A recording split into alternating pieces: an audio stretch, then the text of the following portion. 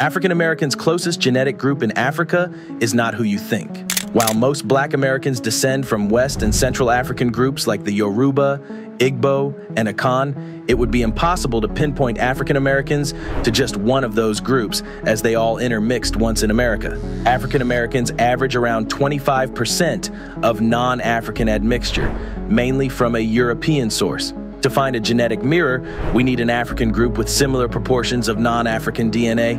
Enter the Fulani, nomadic herders spread from Sudan in the east all the way to Senegal in the west, with 10 to 40% Eurasian ancestry from ancient North African roots depending on the Fulani group. African Americans are closest to specific Fulani groups of Burkina Faso and Fulanis of Guinea, though a small minority of Africans brought to the U.S. were Fulani ethnically.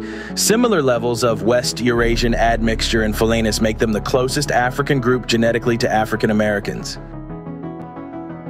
If you'd like to get a comprehensive historical analysis of your DNA, then click the link in our bio.